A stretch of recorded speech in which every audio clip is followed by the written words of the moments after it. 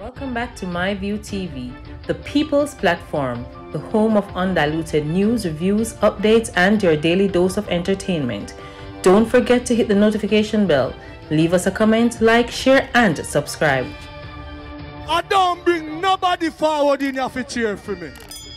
Everything what you see up my natural talent. Man, me tell you something. You see, when you know what to please the audience with, it's simple, me.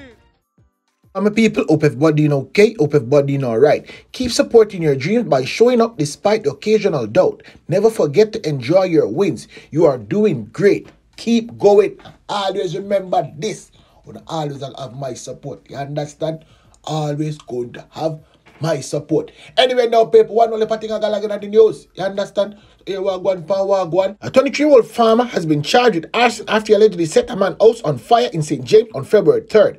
Charge is TJ Holmes, otherwise called TJ. Report reaching our news team from the Montego Bay Police that about 7.55 a.m. a man was at home when Holmes attacked him and set his house on fire. The man managed to put out the fire. However, Holmes reportedly set the house ablaze again, which eventually destroyed the dwelling. A report was made to the police, and guess what the big that police, them the people, them go circle Holmes and arrest him. Yeah, man. Monday, them go, go pick him up. After a question and answer segment, in the presence of his attorney, Holmes was charged. His court date is being finalized. Ah, slap on should I slap him. Well on now. I'm gonna give you some news from out of Denham town. Detective assigned to the St. Andrews South Police Division has charged a 20-year-old man after he allegedly murdered a woman and injured a child on Maxfield Avenue, Kingston on Tuesday, August 3rd, 2021. Me on the talk about this, so I'm telling you who them charge and who dead. The deceased has been identified as 31-year-old Tanisha Roper, otherwise called Munchie of Denham town. Charged with murder, conspiracy to murder, wounded with intent, illegal possession of firearm, illegal possession of ammo, and shooting with intent is Cruse Nation. Yes, people. Cruse Nation was supposed to get slapped with. Charge him a charge him for putting money for goddamn people food. Anyways, let me tell you a little bit more about Cruse now. Cruse, a close vendor of Kenhill Drive in Kingston. Report reaching on news team from the Cora Police Station on Hunts Bay Police Station that about 3.50 p.m. Roper and the child was traveling in a motor car along Maxfield Avenue when Nation and his accomplice drove up beside them, opened gunfire hitting them. The police were alerted and Roper and the child was taken to the hospital. You understand? Yes. All them gonna take him to the hospital the same time. But guess on the paper, rope at the dead still. I write my eyes them put Che. And little beanie baby was admitted for treatment. An investigation was launched and Nation was arrested. He was charged after interview in the presence of his attorney. While ago, me tell us I never him alone, don't it? So guess what I'm to him accomplice. Police added at about 7.25 p.m. on Tuesday, November 1st, 2022. Nation accomplice was fatally shot during a confrontation with the police. So when the police never put him down to, that is all them needed to do, you know put down nation to you understand just as all then put down him accomplice. Say what I said and I mean what I said. You know me already. And now take it back. Ricardo, your time now. A man has been charged with wounded intent, illegal possession of firearm and ammunition, and the use of an illegal firearm to commit a felony following a shooting incident in Perrytown, St. Ann's on Wednesday, February 1st. Charge is 37-year-old Ricardo Samuel, a construction worker of a Perrytown St. Anne address. And hold on a bit now. If you don't really feel like say, me bad and my bad God market to make a sad mistake. Uno can't trick me, you know. Uno cannot trick me. This name change business here. Uno feel like uno want to use. Can't trick somebody else.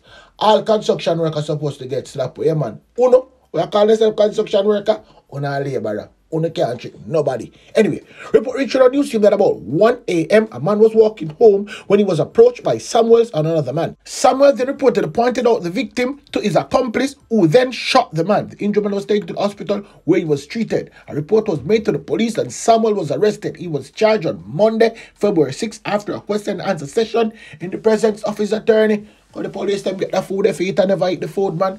Tell about the idiot police them. Hold on a bit there now. Constant Spring Road. Police on Tuesday seized a shotgun and 712 gauge cartridges at Park Lane Constant Spring in St. Andrew. The Constant Spring police said about 4.40 p.m. a team of officers conducted operation in the area and during the search of a premises, the firearm and ammo was found in a crocus bag. Yes, people, no arrest was made in connection with the seizure. Anyway, now, let me tell you about Maurice. I mean, thieving police boy Maurice, I'll thief to be exact. Detective Corporal Maurice Whittingham, who is charged in connection with a multi-million dollar robbery of a delivery truck carrying cooking oil, was yesterday granted $750,000 bail.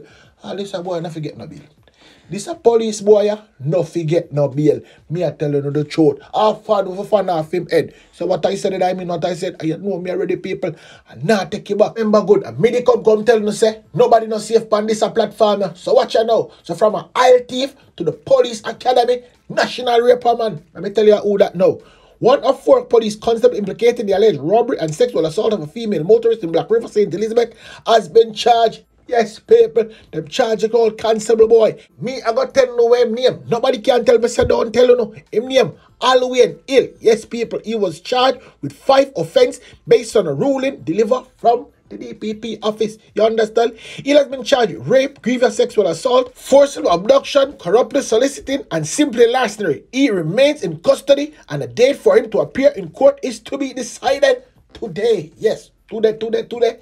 Them are gonna tell me when him a go court. But people, we need to fix them business, you understand? It's alleged about 10 p.m. on Monday, February 5th, the woman was driving along the Crawford Main Road when she was signaled to stop by members of the police team who was manning a checkpoint. This 26-year-old woman whose name has been held allegedly offered the cop $7,000, which she had on her to avoid being ticketed. But they demanded $50,000.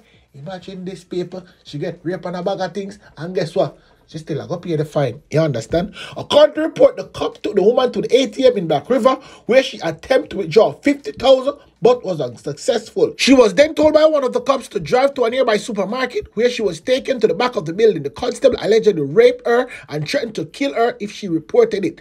The constable also used her debit card to purchase some items. The woman over reported the matter to Santa Cruz police station where arrangements were made for her to be medically examined. The four constables were taken into custody, but three has since been released. You understand? All of them supposed to get slapped with. So what I said, and I mean what I said. I had know me already. And now take it back. I said, people, them kill Mask Kenrick, you know. Yeah, man, them kill Mask Kenrick. Let me tell you about that. A taxi operator was shot and killed by gunmen in Great Pond, Ochia St. Ann on Tuesday evening. He has been identified as 62-year-old Kenrick Emmanuel Minot. Yes, people. Mask Kenrick of Great Pond in Ochi. Police report that about 8.45 p.m., gunmen boarded Minot taxi, a Probox, yes, on top Probox him if you understand, posing as passengers and attempt to rob him of his vehicle. It's reported that Mr. Kenrick resist and was shot.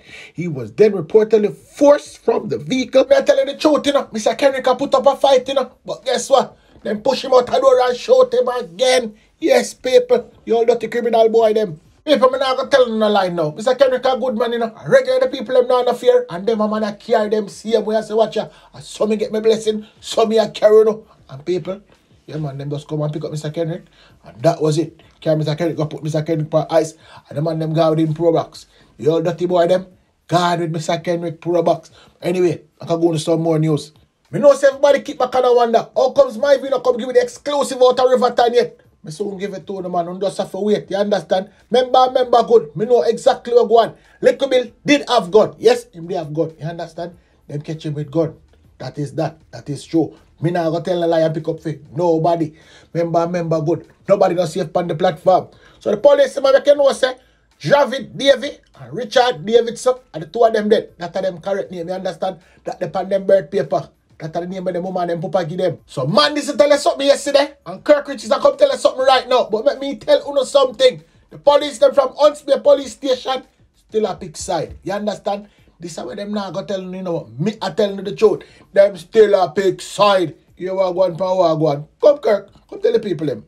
The officers, of course, took evasive action, and at the end of the attack, two males were found suffering from gunshot wounds. Two firearms recovered. Both individuals were rushed to the hospital where they were pronounced dead by doctors on duty. Uh, both deceased men are known to the police as members of the King Kong Killers gang, located uh, in an area of Riverton called Blue Windows.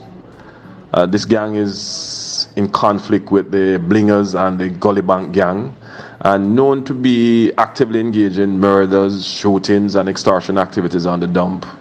In fact, one of the two men who were fatally shot uh, last evening uh, was a person of interest in at least three murders in the Riverton City community. This community is inundated with gangs and gang type activities. The area where my officers came under attack last night uh, was poorly lit, dirt track, zinc fences on either side. Uh, this area is known to be a conflict zone dominated by the, the Blingers gang and the, the King Kong Killers gang.